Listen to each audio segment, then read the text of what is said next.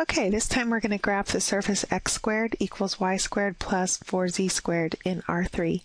So we're going to start like usual by doing one of the traces. We'll start with the trace in the yz plane. So if we plug in x equals 0, we get 0 equals y squared plus 4z squared.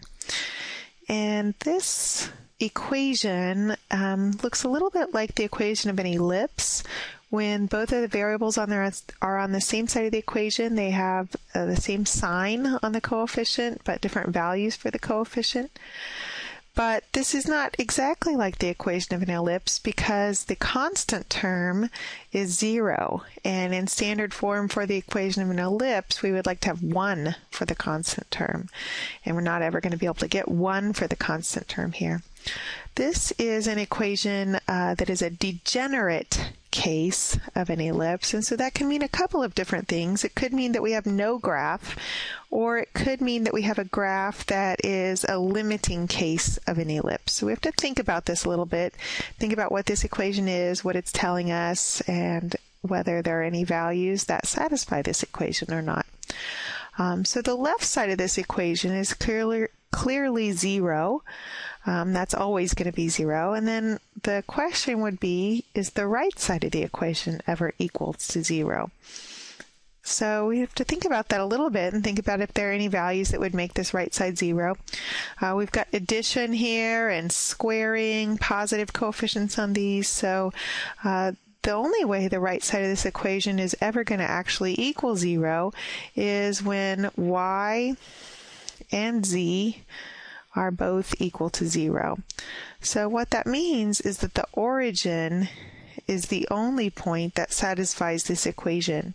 We can think about that a little bit like an ellipse that has shrunk down to zero, uh, or an ellipse whose major and minor axes both have length zero.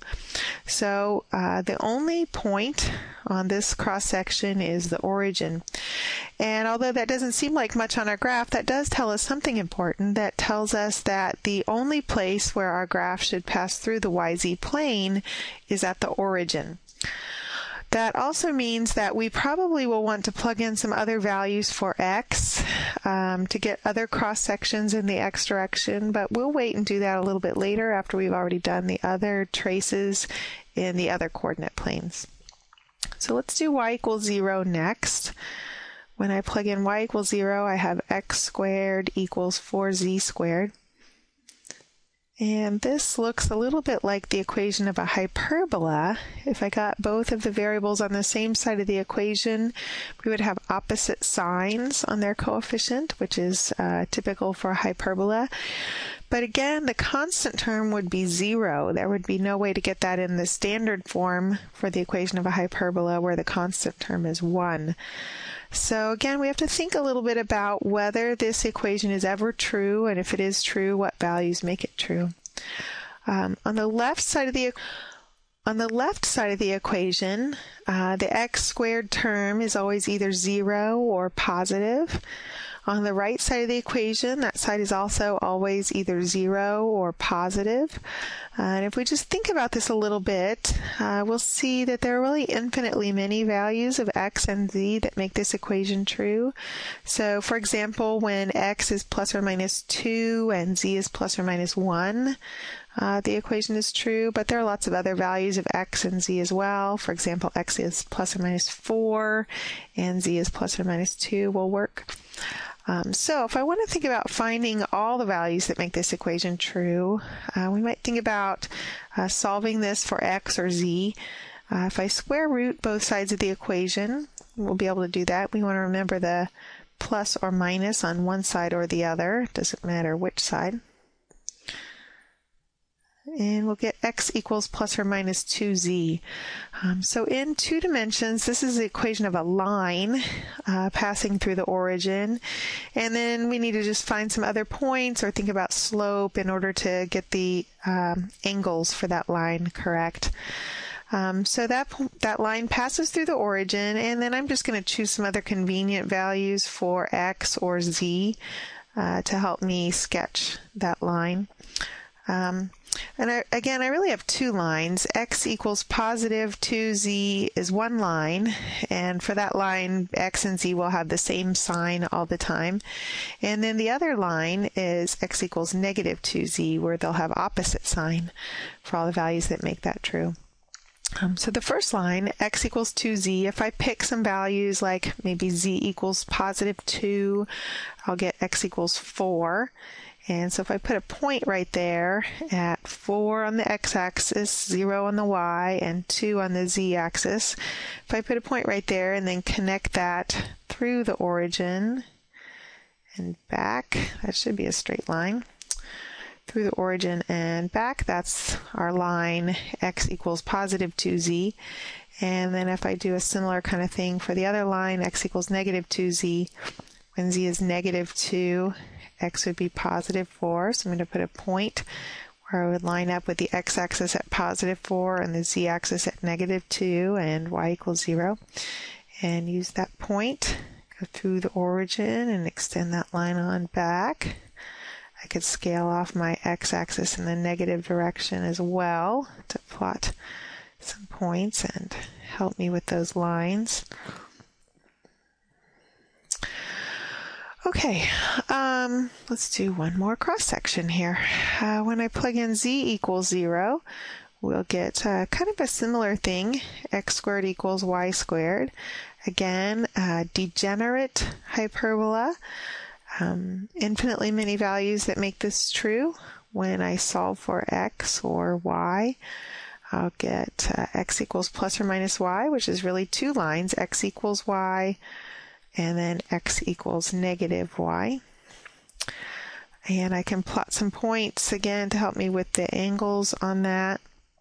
Um, since I used x equals 4 before, maybe using x equals 4 and finding y values that correspond to that would be helpful. Um, so when x equals 4, y is also 4. So I plotted a point here at 4, 4, 0 and use that point and the origin to help me sketch my line and extend on back. And so that would be the line x equals positive y in the xy plane. And then the line x equals negative y. Let's scale off the y-axis in the negative direction here. And plot a point at x equals 4, y equals negative 4, and z equals 0. And then extend that line through the origin and back so that this point where I ended up is um, negative 4 on the x, positive 4 on the y, and 0 in the z direction. So at this point, we have um, four lines intersecting at the origin, and then we have that cross section at the origin where the only point where our graph passes through the YZ plane is zero. After you've done a few of these problems, when you get a graph like this, you'll probably start to recognize this. This is a typical kind of graph that you would get for a cone. It's maybe not evident right away that the graph is a cone, but once I do another cross section or two uh, for some x values, we should be able to understand why it's the equation of a cone. All right, so because I got not much for the graph when I plugged in x equals 0, we're going to pick some other values to plug in for x, and I could really choose whatever values I want, but kind of based on what I've already drawn here, it might make sense to use x equals 4, and because of the squares in the equation, I can do x equals negative 4 at the same time. So when I plug in x equals plus or minus 4, I get um, 16 equals y squared plus 4z squared. And that's a very typical equation of an ellipse, not a degenerate ellipse, but just a regular old ellipse. So I'll divide through by 16. And we get this equation here. So remember that this is going to be out at x equals 4, and from x equals 4, then I'm going to go from there left and right 4 units in the y direction, and up and down two units in the z direction. And if I plotted those lines correctly that I plotted earlier, those points that I get from coming out four units and then doing my major and minor axes of the ellipse should line up with those lines I drew. If you didn't plot them super carefully, you might have to fudge that a little bit. Um, but that ellipse that I've drawn there um, is one of the cross sections. So that when I slice this surface parallel to the YZ plane, I get an ellipse that's a little bit bigger. And uh, we'll have a similar one back at x equals negative 4. I'll draw in a little bit. Um, the other thing to think about is when I plug in larger and larger values for x, if we kind of think about the equation that we're given up here, when I plug in larger and larger values for x, we're just going to get larger and larger ellipses. So we're going to continue getting these same ellipses around the um, x-axis, centered around the x-axis, and they're just going to get larger and larger and larger.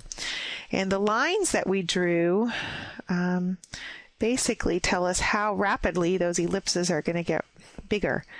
Um, so this is a cone. This is kind of the standard kind of cone. I'm just going to sketch on the front side here. I'm sketching in some contour lines back here behind the ellipse, showing that the sides of that cone are flat. So to kind of contrast that with the paraboloid or hyperboloid, um, where the sides were curvy, um, we've got those straight sides there. And the other thing I might emphasize here, this x-axis is coming right out of the center of the cone, so it's passing in front of that ellipse that I drew out here at x equals 4. Um, we'll have another ellipse on the negative part of the x-axis. So if I go back to x equals negative 4, and then from there I go left and right 4 units, looks like my green line over there was a little bit um, too far over, so I might readjust that. And I don't know if I can erase it without erasing too much else. Oh yeah, I did okay. Readjust that green line that went back into the graph there. Okay, and then sketch in my ellipse. So I went back four units on the x-axis, and from there I went up two and down two, left four and right four. And we get this ellipse back there. So that's the back side of the cone. Um, in general, cones will open in two directions. So they'll be kind of double-ended cones. Think about two ice cream cones stuck together at their vertex. Uh, in general, that's what a cone will look like when you have an equation like this, unless the equation has been manipulated somehow to make it so that there's only one half of the cone. So some sort of restriction where x would be only positive or x would be only negative. Um, but in general, we've got this two-sided cone. The back side of the cone you wouldn't be able to see into. It's opening on the negative part of the x-axis, so you would just see it from the back side. And then the front part of the cone that's opening on the x-axis we would be able to look into. And so again, this is a cone. We would call this an elliptical cone since its cross sections are ellipses. Elliptical cone.